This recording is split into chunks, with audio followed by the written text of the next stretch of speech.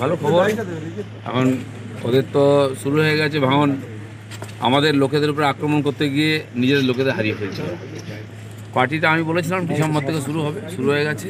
নতুন বছরে প্রতিষ্ঠা দিবসেও তাদের পার্টি ভেঙেছে। সেই জন্য যে যাদেরকে জোর করে বা অন্যভাবে আটকে রেখেছিলেন তারা মুক্তি চাইছেন আমার মনে হয় লক্ষ্মীরতন শুক্লার প্রত্যাগ করাটা সেটা একটাও কারণ হতে পারে।